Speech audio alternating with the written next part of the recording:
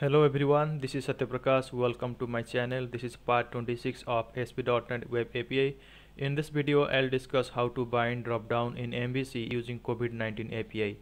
So before going through this part 26, please visit my part 19 of ASP.NET Web API, how to consume ASP.NET Web API using ASP.NET MVC and HTTP client to get employee details. So this uh, part 19 consume uh, that is another web API URL but in this part 26 I will show you the different uh, web API URL and how to consume to get the country details. And in this video I'll show you how to add a model add a controller and a view and code for binding dropdown using web API so guys uh, before going through this um, my code you can see this uh, this is the uh, path to my get the URL that is documenter.getpostman.com and you can see the countries get request just click on it and you can see get countries just copy this URL it will return all available countries and provinces as well as the country slug for for country request. So I copy this URL go to my postman paste here and select the get request from the drop down and send request. And you can see I got the 200 OK status and I, I am getting the response right? Okay now I'll go to my Visual Studio. So in my part 19 already have created this MVC project. So in this existing project I'll add some new files. So step one is I need to add the class file right? So in models folder I can create the country dates class file here so in class file I need to add some properties. Should be same as the response like country slug and ISO2 so I need to convert this JSON object to C sharp class. So just copy this and go to this URL that is the json2csharp.com this one is for JSON section this one is for C sharp. So I copy paste this uh, section here and click on convert and you can see this JSON things is converted to your class file and the related properties like uh, country, slug and ISO2. So I copy this stuff and go to my class file. So this is the country date.cs. So open this class file and I paste it here. So here by default it will create the class file as a root but for my better understanding I put it here as my class file is country date right? So this is the way we need to add the class file and convert the json object to uh, c sharp class. And second step is go to my controller and here I have added the uh, controller file called country controller.cs alright so I need to open this file. And guys here I need to add few namespace that is the system.net.http this is for access the HTTP client and its related methods and properties. And this namespace is used to access the this class uh, and its property names. So this is all about the namespace and inside index action method. I have uh, include the type of my country date class as IEnumerable and set at null as initially.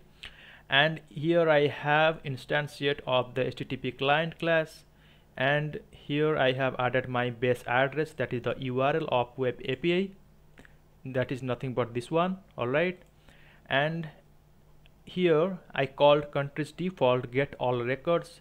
And you can see this variable response tags and client dot get async so get async method is used to send a get request.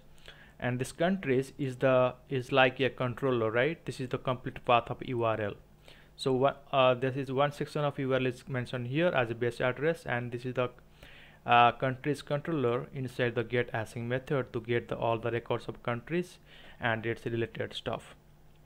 Here using this variable set as wet and next line is I used to store result of web API response. So in variable result I have uh, mentioned the response tag dot result and here I'll check some conditions. If result is succeeded what it is and if not what it is. So if it is result succeeded that is result dot is succeed status code then using read task there is the code here is a read async extension method. So this read async is the extend, extension method in uh, system.net.http dot uh, formatting right? So this this used to returns a task that will yield an object of the specified type from content instance. Alright and here in I include the country date in I list. And here I mention the read uh, read task to wait method. And include the, I have also returned the result of a read task to country object of the of this uh, enumerable of country date here. Right? So this is the if the result succeeded. If not then for error response I have mentioned here as enumerable it is a provides a set of static method for querying object that implements enumerable.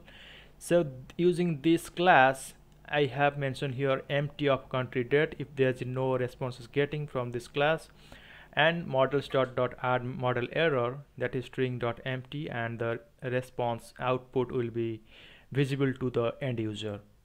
And after then I have I need to return the view uh, for specific index action method. That is I have passed the country dates object here. So it will create a view result object by using model that renders a view. Alright guys. So this is all about country controller. So I need to add the view for specific controller file. So right click on it the index. Alright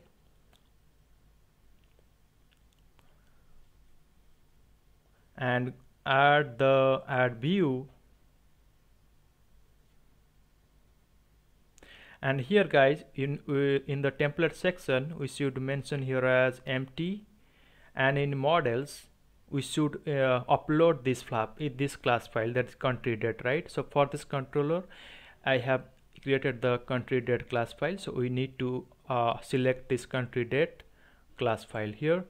And once it's done you need to add here so once it's once you have added you can see you just expand this views and you can see country inside country folder. So this folder is same as default by creating Visual Studio. That, that should be same as the controller class file. So inside country fo folder there is one index.cshtml is creating. So I open this one right? So guys initially there is no i enumerable so at the rate model I have mentioned here i enumerable and the inside I have whatever the class object I have uploaded. That is nothing but the you can see here that is the class when you created the uh, that is the index action index cshtml page. So i have uh, selected this option from the drop down so that it will showing here. So i set it as enumerable and inside i set as the title that is get country details. And in h2 tag it will show list of countries logs and iso2 and here I have mentioned I have created the table tag. Mentioned here as class table trtd and inside first td section I have used I, I need to show the list of country names in one drop down so here select class form control and option value selected disabled this country name will be shown uh, in the in the drop down right? This will be disabled. This this one it cannot be selected. And I need to use a for each loop that is the var item in model and using this mod using this object that is the item variable I need to access the country properties. That that should be this one country. So here using rate item dot country so it will show all the country names. So same way in second td I have I need to show as the slug names. So here I using for each loop I, I have used the var item in model and using item uh, I can access the this log property from country date class file.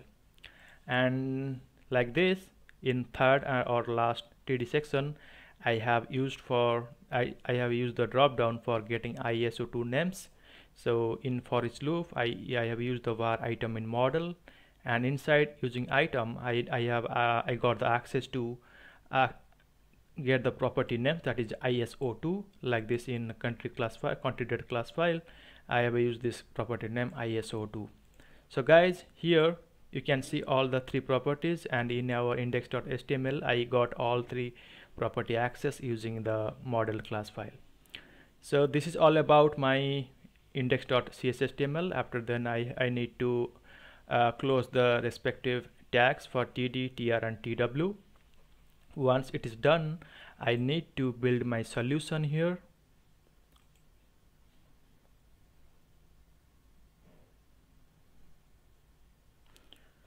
So guys here build is succeeded and I need to run my application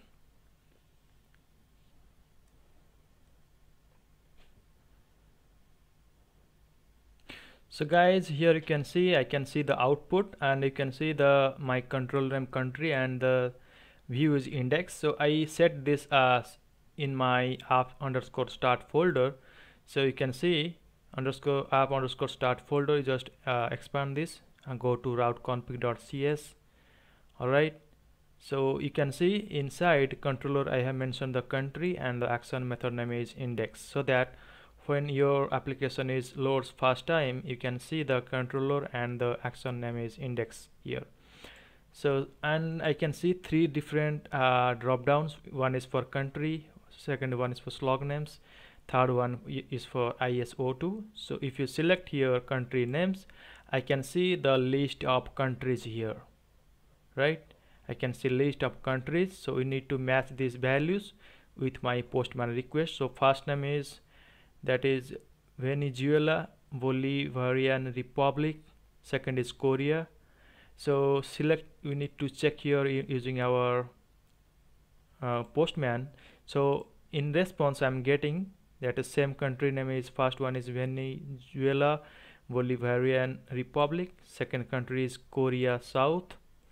Alright and uh, we need to check here slug names so we can see all the list of slug names here. That is specific to country. So first is Venezuela and the second one is Korea South. So if you go to here the slug name is Venezuela and for country Korea the slug name is Korea hyphen South. And for ISO ISO2 I'm getting the list of ISO2 details right so for this is one is VE and one is KR so need to check here using postman for Venezuela country ISO2 is VE for Korea South the ISO2 is KR so you can see guys all my uh, I can see the whatever consume web API COVID-19 API and I'm, I can see the country names slug names and ISO2 names so in this way we can consume COVID-19 API or any external web API in our MVC and get the result. And we can also bind the other server controls like uh, a drop down so in this video we already have discussed that is how to add model controller and view and what are the codes for binding drop down using web API so guys uh, please subscribe and sub and like it to get the details on the my upcoming videos that is on .NET, .NET Core, C Sharp, SQL Server, MVC, DevOps and GitHub. So that's it for today guys. Thank you for listening. Have a great day.